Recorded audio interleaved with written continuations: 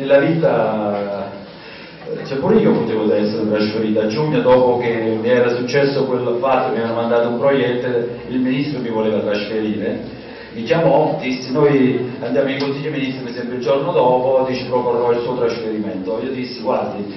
eh, eh, rovinerei tutto il buon lavoro che ho fatto perché la gente penserà che io sto scappando dalla paura. Quindi potevo già a giugno andarmene maggio veramente quando c'è stato quell'episodio quindi e poi appunto poi dopo obbligato perché la preside eh, la verità l'ho detto pure al direttore regionale eh, eh, ho detto direttore non faccia movimenti mi faccia tutto quello che vuole ma non quello perché no perché a parte conosco la preside conosco abbastanza bene ormai questo, questo istituto. So che da la preside diciamo, eh, fa un po' da allenatore, ecco, la squadra che vince ha bisogno di buoni allenatori, ecco, a Napoli potrei dire Mazzara, ma potremmo parlare di Mourinho che chi si occupa di calcio, di, di Guardiola, di Conte che è tifoso Juventino. Eh, ma se l'allenatore non è buono, non so se la squadra poi funziona, ecco, perché poi, diceva Manzoni, noi siamo quel che facciamo, ci, ci riempiamo la bocca, la carica e quant'altro, ma la carica poi la riempire quotidianamente di contenuto, di impegno, di passione, di slancio, eh, di quella tensione quotidiana per raggiungere un risultato. Ecco, l'assessore, eh, io non, non riuscirei mai a essere brillante come lui, lui ha fatto una serie di considerazioni in più delle, delle comunicazioni molto importanti, ecco, che si inseriscono in quella, in quella dimensione di cultura del fare che poi non è molto diciamo, estesa in Calabria. Tante volte, sono tre anni, tu lo sai, lo ripeto, andiamo ai convegni, la convignita la chiamo io, diciamo sempre dovremmo fare quello, dobbiamo fare quell'altro. E io dico sempre, scusate, ma diciamo sempre che dovremmo fare. Nessuno che dice stiamo facendo, eh, altrimenti qua tra dieci anni diciamo sempre dovremmo fare questo, quell'altro, siamo una regione turistica, benissimo. E quando cominciamo ce lo diciamo solo e quindi dobbiamo passare dalla cultura della precarietà al progetto. E qui c'è una prova lampante che quando c'è la passione, assessore, ma non per, per te perché lo sai, ti stimo tantissimo, lo fai con molto trasporto perché ci credi ciecamente, però eh, ci vorrebbe una, una, contaminazione, diciamo così, ecco, eh, dovremmo essere tutti contaminati da questa voglia, da questo entusiasmo, come sempre nelle cose della vita, no? E puoi fare per dovere d'ufficio, e tanti pure insegnanti lo fanno. Eh, lei ha toccato un argomento, io ricordo, ero ancora viceprefetto, genitori come tutti, da Latina eh, capitava che andavano a fare la gita, alcuni non ci andavano, io dicevo a mia moglie, guarda, questi non ci vanno perché sono poveri, non ci mando nemmeno mio figlio, mia, mia figlia, io ho due figli,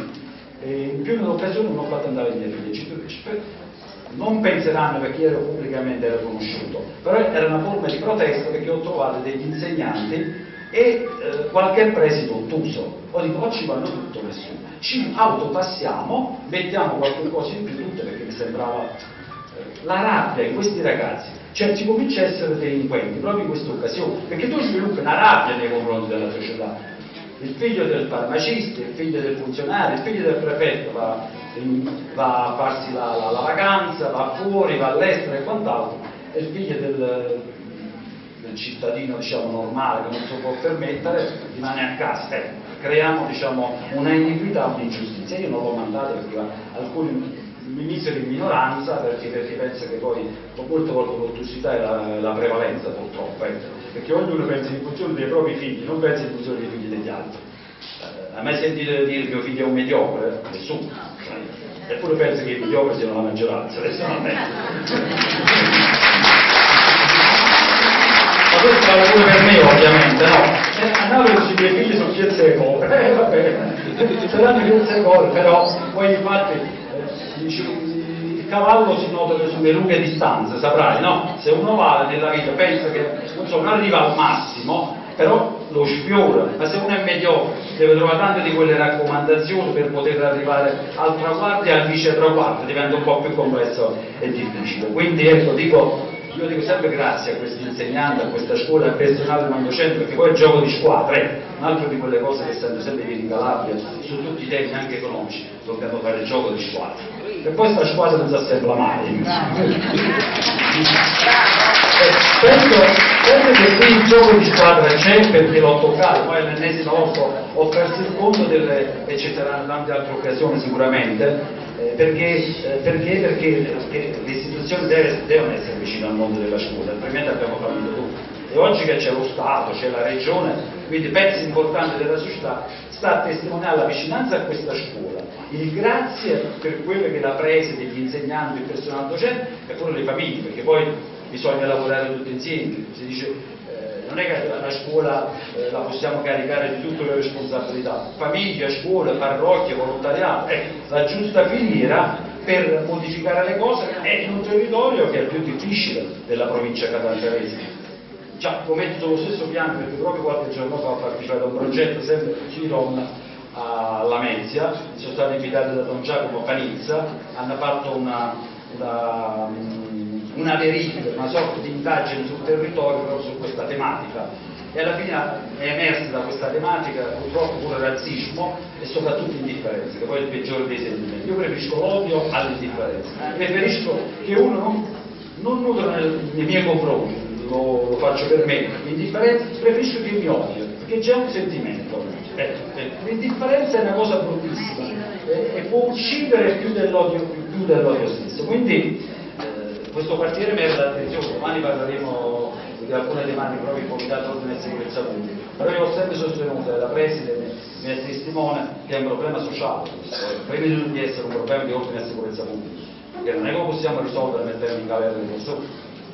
li mettiamo pure in galera di operazioni le abbiamo fatte ne faremo tante altre perché noi dobbiamo aiutarli a migliorare. La cultura del pensiero propellente che migliora la società altre cose non ce ne sono dobbiamo fare di più tutti i livelli istituzionali a cominciare sempre da me ci mancherebbe però chiedere a loro il rispetto delle regole. Hai parlato giustamente di legalità e giustamente e io ho molto approvato, apprezzato eh, che avete fatto l'apertura prima a Rosarno e poi a Isolo Caporizzuno che poi sono luoghi simboli Rosarno, Giorgio Micran, Bellotto, Pesce, Chiromalle che sono stato eh, nella commissione di accesso nel 2007 quando sciogliemmo Gioia Fabio è passato un secolo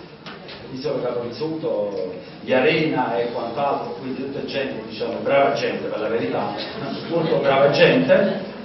molte volte sono più bestie, da tutto rispetto per gli animali, animali sanguinari e ferati, tante altre volte sono persone inappuntate, apparentemente inappuntate, di giacca e cravatta, che tendono a tessere i loro eh, collegamenti, che sono collegamenti mortiferi ovviamente, tesi così ad accumulare denaro. Grazie a Dio le forze dell'ordine magistratura anche ieri, l'altro ieri, hanno sequestri e confische per oltre 200 milioni di euro. Ecco, questa è una cosa positiva, perché questi li puoi colpire solo nella tasca e magari acquisendo al patrimonio di comuni, dello Stato, tutti questi beni che ci possono molto far comodo in epoca appunto di,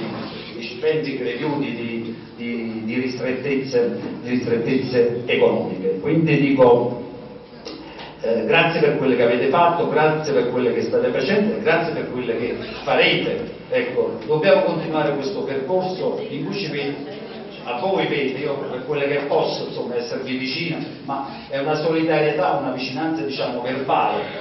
però è pure, devo dire, posso assicurare sostanziale, perché con la preside quando ci vediamo pure al di qua in, altre, in altri luoghi, ecco, parliamo di, di, questi problemi, li viviamo quotidianamente e penso che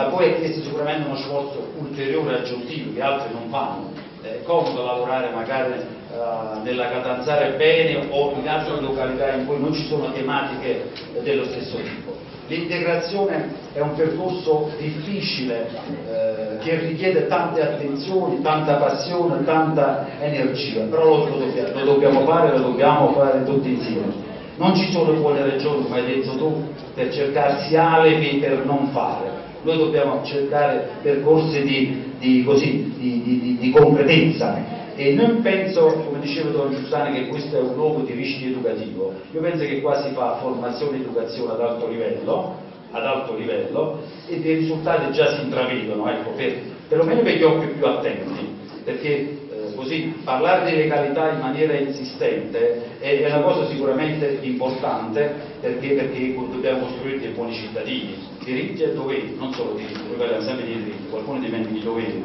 perché la, la, società si costruisce soprattutto sui, sui doveri, perché ce ne dimentichiamo troppo spesso. Poi eh, hai detto pure che l'Ocse non ci pone una buona non ci posiziona una buona graduatoria, questo riguarda l'Italia. Io penso che se, se, dovessimo mettere solo questa scuola, questa scuola si metterebbe nei posti altolocati. Eh? Eh, non penso che questa scuola, questa scuola questa scuola è porta eccellenza, quindi sicuramente avremo posizioni molto molto molto alte, perché poi come, sempre, come ho detto prima è la passione che segna lo spartiacque tra una buona scuola e una cattiva scuola perché quando l'insegnante è motivato ci mette tutto se stesso, sicuramente i risultati vengono. E poi soprattutto la costanza, ecco, questa assiduità di impegno che io noto in loro eh, attraverso le parole della preside, perché se c'è la motivazione da parte della preside lei sicuramente contaminerà tutto, tutto l'ambiente e quindi possiamo essere fiduciosi. Certo, possiamo dire che è un percorso lungo, non è che sarà una cosa facile, una cavalcata diciamo così, eh, semplice, eh, però facendolo tutto insieme, eh, mettendoci tutto, tutto, tutto l'impegno possibile, i risultati io sono sicuro che arriveranno. E riusciremo in certo qual modo a, a, contenere, a limitare questo fenomeno, certo l'illegalità ci sarà sempre, insomma è nato che Adamo ed Eva, come, come, i reati sono nati con Adamo ed Eva, insomma quella penamela si fece, quella, si fece pregare, penamela poi, insomma, quindi dico, dobbiamo avere fiducia anche in questo momento difficile, un momento in cui la, la la, conferenza dei vescovi calabresi ha espresso forte preoccupazione per la tenuta dello Stato sociale, perché poi alla fine si riflette anche sul livello dell'istruzione. Bella fatta la presida a coinvolgere chi c'ha di più. Chi c'è il superfluo se ne libera un po', penso ai grandi imprenditori, no? Chi se le portano all'altro mondo le metteranno nella cassa d'amore. E la lasciassero un po' qua.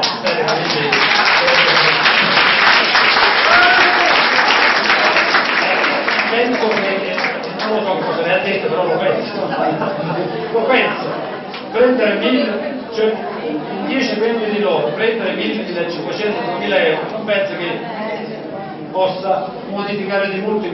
il loro, loro, patrimonio, ecco. E, e, fare qualcosa di piatto poi magari si riconcilia con la vita e, e sicuramente col Padre Eterno. Non penso che il Padre Eterno ci giudicherà dalle messe che abbiamo sentito più o meno fasulle e distratte, ma ci misurerà dalle opere di fede, penso altrimenti,